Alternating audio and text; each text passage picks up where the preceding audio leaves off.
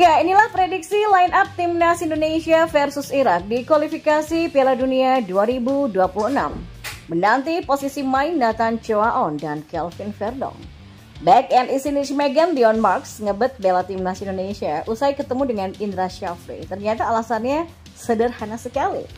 Hadapi Irak dan Filipina, media Vietnam sebut timnas Indonesia bawa skuad paling kuat yang pernah ada dalam sejarah.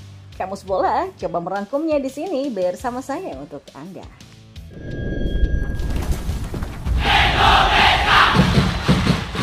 Timnas Indonesia membidik kemenangan di laga ini demi memastikan tempat di babak ketiga kualifikasi Piala Dunia 2026 zona Asia sekaligus mengunci satu slot di putaran final Piala Asia 2027.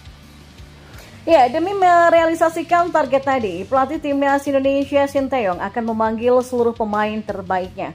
Hal itu termasuk tiga pemain yang sedang berjuang untuk mendapatkan kesempatan memperkuat timnas Indonesia yakni Martin Paes, Kelvin Verdong, dan juga James Raven.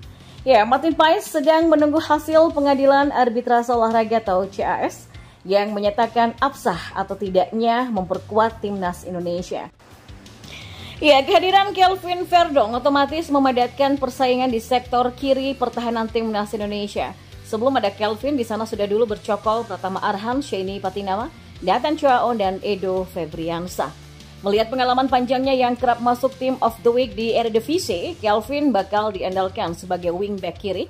Sementara itu Nathan akan bertugas sebagai gelandang sentral, posisi yang diperankannya secara optimal di Piala Asia U23 kemarin. Lantas formasi apa yang akan diturunkan Sinteyong saat timnas Indonesia menjamu Irak nantinya?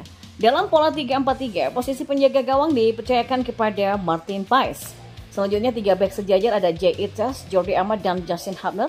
Lanjut ke posisi wingback kanan ada Jakob Sayuri dan Kelvin Verdong di sisi sebelahnya. Sementara untuk gelandang sentral ada duet Tom Hay dan Nathan Choaon yang dipercaya oleh Sinteyong. Untuk pengisi tiga terdepan diisi oleh Witan Sulaiman, Raka Rotmangun, dan Rafael Surik. Dan harapannya, perpaduan ini mengantarkan timnas Indonesia berjaya saat bersua dengan Irak nanti. Sementara itu pemain keturunan Indonesia Dion Marks ingin sekali membela timnas Indonesia dan dinaturalisasi menjadi warga negara Indonesia. Sebelumnya dia ditemui oleh pelatih timnas Indonesia U20 Indra Syafri dalam kunjungannya ke Belanda untuk mencari bakat-bakat baru bagi timnas Indonesia. Di sana Indra Syafri mencari pemain keturunan yang berpotensi membela timnas Indonesia. Bersama empat pemain keturunan lainnya, Dion Marks bertemu dengan Indra Syafri di salah satu restoran yang dimiliki oleh warga Indonesia. Dion menyatakan ketertarikannya terhadap ajakan Indra Syafri untuk bertemu dan membahas potensi bergabung dengan timnas Indonesia. Menurut Dion, dalam wawancaranya dengan kanal YouTube Yusa Nugraha, dia awalnya dihubungi oleh Fardi Bahdim, kemudian oleh ayahnya dan mereka mulai berkomunikasi. Dion menyatakan keterbukaannya terhadap tawaran tersebut. Ia mengungkapkan bahwa sebagai pemain keturunan Indonesia dari pihak ayah, dia punya keinginan yang kuat untuk membela tanah air. Ya, Dion berharap bahwa dengan potensinya, timnas Indonesia akan menjadi lebih kuat dan dia berkomitmen untuk berkontribusi positif bagi negaranya. Oh ya, tentu aku sangat tertarik. Itu cita-citaku dan ya semoga akan terwujudkan. Menurutku timnya akan menjadi semakin kuat, kata Dion. Dion juga mengungkapkan bahwa ini adalah pertama kalinya dia dihubungi oleh PSSI dan bertemu dengan Indra Syafri dan dia ingin lebih mengenal timnas Indonesia. Dia menyambut baik kehadiran pelatih timnas Indonesia U20 dalam pertemuan itu dan berharap dapat saling mengenal antar anggota tim lainnya. Dion pun punya alasan pribadi untuk memilih membela timnas Indonesia, mengapresiasi keputusan pemain sebelumnya yang juga memilih negara orang tua mereka sebagai tempat bermain. Menurutnya keputusan seperti yang diambil oleh Rafael, Ivar, Justin, dan lainnya adalah langkah mulia karena mereka memilih membela negara dari negara asal orang tua mereka. Ya, Dion menyatakan dukungannya terhadap pemain yang memilih timnas Belanda karena alasan karir. Namun baginya, lebih indah memilih negara tempat orang tua dilahirkan dan dia merasa bahagia mendapatkan tawaran dari timnas Indonesia. Sementara itu media Vietnam menyoroti persiapan timnas Indonesia menjelang dua laga terakhir kualifikasi Piala Dunia 2026 zona Asia. Setelah bertugas bersama timnas U23 Indonesia, Sintayong yang sama sekali tidak bisa beristirahat. Pelatih asal Korea Selatan itu masih punya tugas penting lainnya. Ia harus mempersiapkan skuad timnas Indonesia untuk berlaga di kualifikasi Piala Dunia 2026 zona Asia. Dia untuk lolos ke putaran selanjutnya, Sandy Wells dan kawan-kawan hanya perlu memenangi satu laga saja. Oleh sebab itulah Shin Taeyong selaku pelatih kepala akan mempersiapkan tim terbaik demi meraih tiket menuju babak berikutnya. Ya, rencana Indonesia meraih mimpi besar itu juga disoroti oleh salah satu media asal Vietnam yakni Soha. Dalam laporannya, Soha mengatakan bahwa Shin akan membangun skuad Garuda terkuat yang pernah ada. Setidaknya ada 17 pemain yang berkarir di luar negeri akan dipanggil pada Juni nanti. Menurut informasi terkini, pelatih Shin Taeyong diperkirakan akan membentuk skuad yang besar yang dianggap sebagai yang terkuat. Skuad itu dibentuk untuk mempersiapkan dua pertandingan sisa kualifikasi Piala Dunia. Akan dipanggil sebanyak 17 pemain yang bermain di luar negeri. Ini juga menjadi rekor jumlah pemain sepak bola abroad saat membela timnas, kata Soha.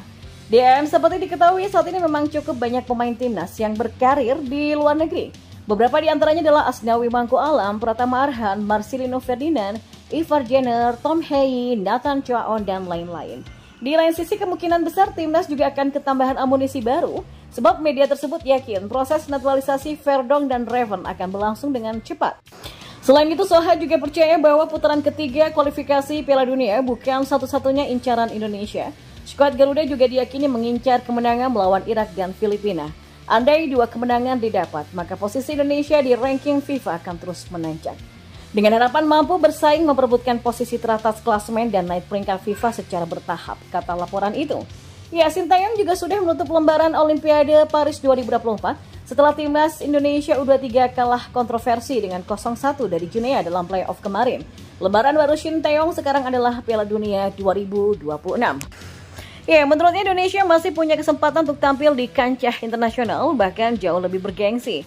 Dia pun menyampaikan kepada seluruh fans bahwa Indonesia punya kapabilitas untuk lolos ke Piala Dunia 2026.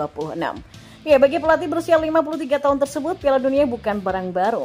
Ya, lihatlah sekilas riwayat karirnya setelah menggantikan Uli Stilike, dia berhasil meloloskan Korea Selatan ke Piala Dunia 2018 di Rusia lalu.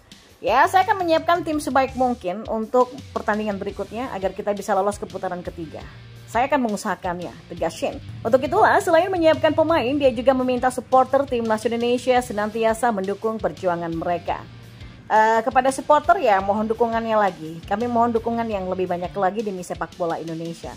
Kalau kalian memberikan dukungan, para pemain akan semakin melakukan yang terbaik di lapangan. Uh, janganlah mendukung kami, mendukung timnas. Ya, terima kasih, kata Sinteyong.